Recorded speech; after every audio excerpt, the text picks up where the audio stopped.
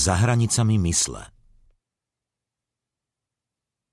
Údel človeka stratený v myšlienkach Väčšina ľudí strávi celý život uväznená medzi bariérami svojich myšlienok. Nikdy nevykročia mimo úzky, mysľou vykonštruovaný, zosobnený pocit seba identifikácie, podmienený minulosťou. Rovnako ako v každej ľudskej bytosti, aj vo vás sa skrýva dimenzia vedomia, ktorá je oveľa hĺbšia ako myslenie. Je to samotná prapodstata toho, kým ste. Môžeme ju nazývať prítomnosť, uvedomenie, nepodmienené vedomie. V dávnych duchovných náukách ju pomenúvajú vnútorný Kristus alebo Budhova podstata.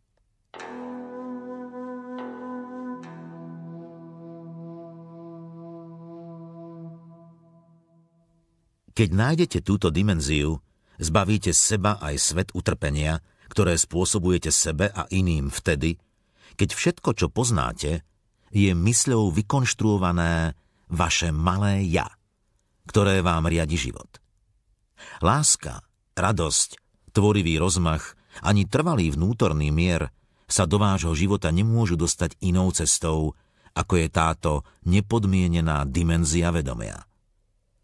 Ak sa vám aspoň občas podarí nazerať na myšlienky, ktoré vám prúdia hlavou ako na obyčajné myšlienky, ak si dokážete uvedomovať svoje mentálno-emocionálne vzorce správania v momente, keď sa odohrávajú, vtedy sa vo vás táto dimenzia vynára ako uvedomovanie, v ktorom sa odohrávajú myšlienky a pocity, vnútorný priestor nepodliehajúci času, v ktorom sa odvíja obsah vášho života. thank you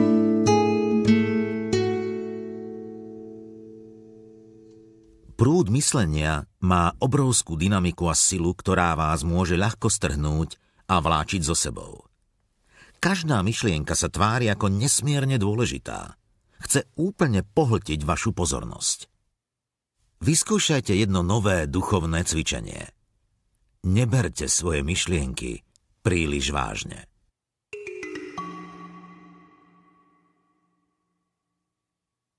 Ako ľahko sa dajú ľudia chytiť do pasce svojho konceptuálneho myslenia. Ľudská myseľ vo svojej túžbe poznať, rozumieť a ovládať omylom pokladá vlastné názory a stanoviská za skutočnú pravdu. Tvrdí, je to takto. Musíte sa povzniesť nad svoje myšlienky, aby ste si uvedomili, že nech interpretujete svoj život alebo život či správanie niekoho iného ako chcete – nech posudzujete nejakú situáciu ako chcete. Vždy je to iba jeden z mnohých možných uhlov pohľadu na danú vec. Je to iba klpko myšlienok. Ale realita je jeden zjednotený celok, v ktorom sú všetky veci navzájom popredkávané, v ktorom nič nie je samo o sebe a zo seba. Myslenie tento celok rozčlenuje. Rozsekáva ho na márne, konceptuálne kúsky. Uvažujúca myseľ je užitočný a mocný nástroj, no dokáže byť aj veľmi obmedzujúca, keď sa úplne zmocní vášho života. Keď si neuvedomujete, že je iba malou súčasťou vedomia, ktorým v skutočnosti ste. Múdrosť nie je výsledkom myslenia. Hlboké poznanie, ktorým múdrosť je, sa rodí jednoducho tak, že niečomu alebo niekomu naplno venujete svoju pozornosť. Pozornosť je prvotná inteligencia. Vedomie samo o sebe. Rozpúšťa bariéry vytvorené konceptuálnym myslením, čím nastáva uvedomenie, že nič nejestvuje samo o sebe a zo seba. Spája vnímajúceho a vnímané v zjednocujúcom poli uvedomenia, ktoré je liekom na stav oddelenosti.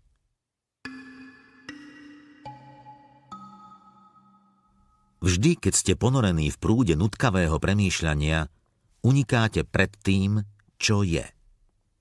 Vtedy nechcete byť tam, kde ste. Tu a teraz.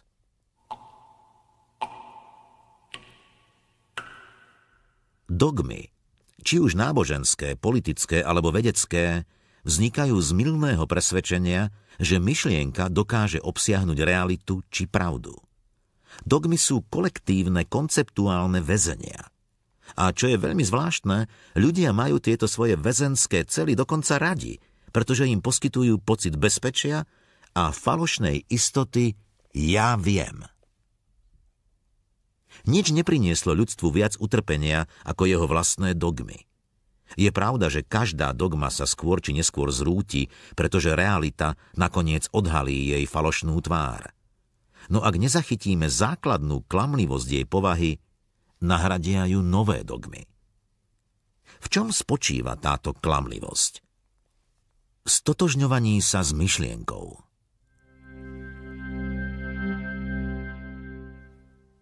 Duchovné prebudenie je prebudenie sa zo sna myšlienok. Ríša vedomia je oveľa rozsiahlejšia, ako dokáže myšlienka obsiahnuť. Keď prestanete veriť všetkému, čo si myslíte, vykročíte za hranice myslenia a jasne uvidíte, že ten, kto uvažuje, nie je tým, čím ste vy.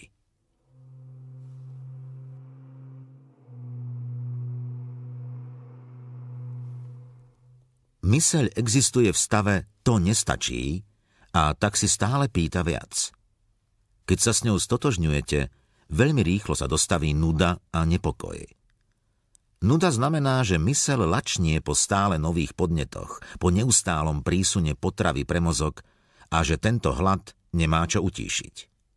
Keď sa nudíte, môžete utíšiť hlad vlastnej mysle tak, že siahnete po časopise, niekomu zavoláte, bezcielne prepínate televízne kanály, surfujete na internete, idete nakupovať, alebo, čo je pomerne častý jav, presmerujete potrebu dostať viac a pocit nedostatku zmysle do tela, kde ich utiešite veľmi ľahko tým, že konzumujete viac jedla.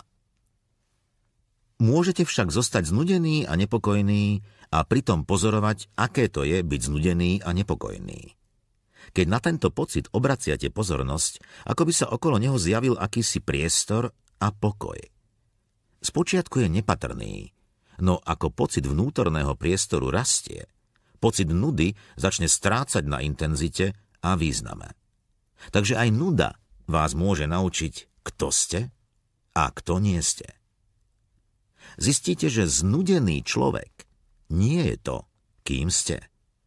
Nuda je jednoducho podmienený pohyb energie vo vás. A nie ste ani nahnevaný, smutný, ani ustráchaný človek. Nuda, hnev, smútok, Strach nie sú vaše. Nepatria vám. Sú to stavy ľudskej mysle. Prichádzajú a odchádzajú. Nie ste nič z toho, čo prichádza a odchádza. Nudím sa. Kto to spoznáva?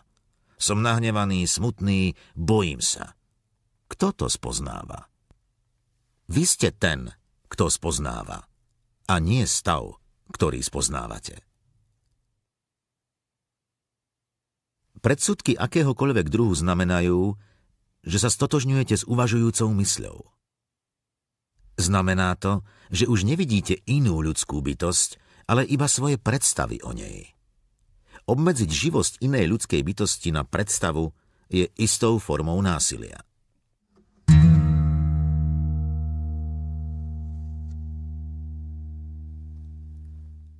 Uvažovanie, ktoré nie je zakorenené v uvedomení, sa stáva samoučelným a nefunkčným. Inteligencia, ktorej chýba múdrosť, je nesmierne nebezpečná a deštruktívna. To je stav, v ktorom sa v súčasnosti nachádza väčšina ľudstva. Hoci posilňovanie sveta myšlienok v podobe vedy a techniky nie je samo o sebe dobré ani zlé, nadobudlo deštruktívne rozmery, pretože myslenie, z ktorého vychádza, nie je zakorenené v uvedomení. Nasledujúcim krokom v ľudskej evolúcii je dostať sa nad myslenie. To je naša neodkladná úloha.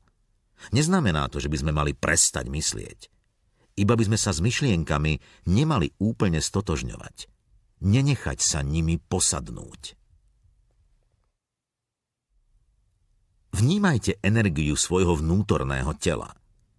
Mentálny hluk okamžite poľaví alebo stíchne.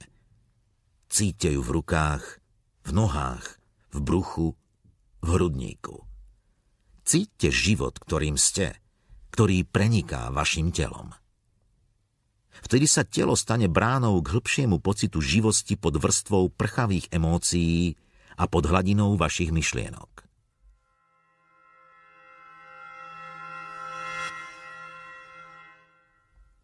Je vo vás živosť, ktorú preciťujete celým svojim bytím, nie iba hlavou. V tej prítomnosti, v ktorej nepotrebujete uvažovať, je živá každá vaša bunka. No ak v tomto stave z nejakého praktického dôvodu potrebujete premýšľať, myslenie je vždy k dispozícii. Myseľ dokáže pracovať stále a krásne pracuje vtedy, keď ju využíva a jej prostredníctvom sa vyjadruje vyššia inteligencia – ktorou ste vy.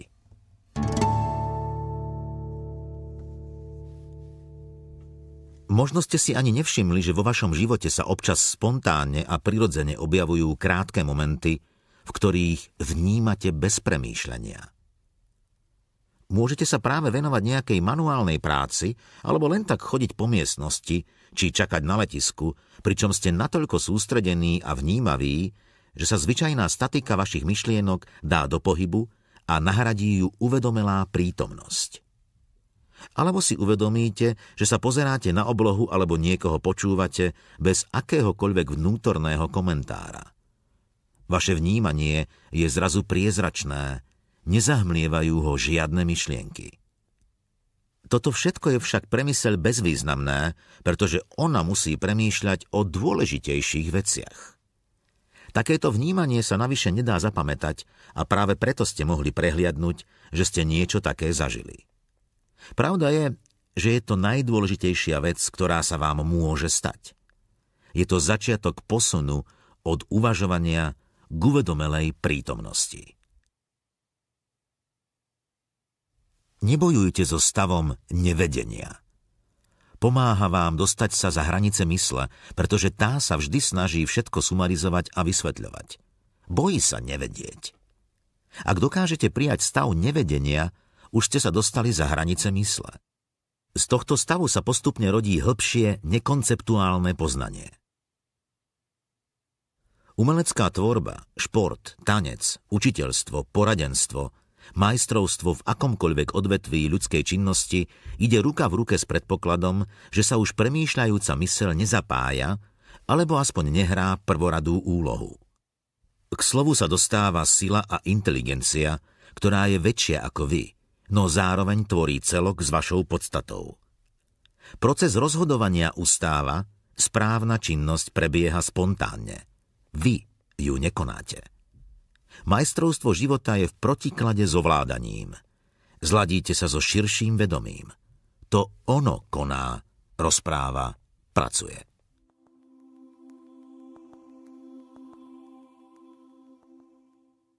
Okamih nebezpečenstva môže dočasne utlmiť prúd myslenia, vďaka čomu získavate možnosť okúsiť, čo znamená byť ducha prítomný, vnímavý a uvedomelý. Pravda je všeobjímajúcejšia, ako dokáže myseľ pochopiť. Žiadna myšlienka nie je schopná obsiahnuť pravdu. Môže na ňu pri najlepšom poukazovať. Môže napríklad hovoriť, všetky veci tvoria vo svojej podstate jeden celok. To je len znak, nie vysvetlenie. Chápať tieto slová znamená v hĺbke duše cítiť pravdu, na ktorú poukazujú.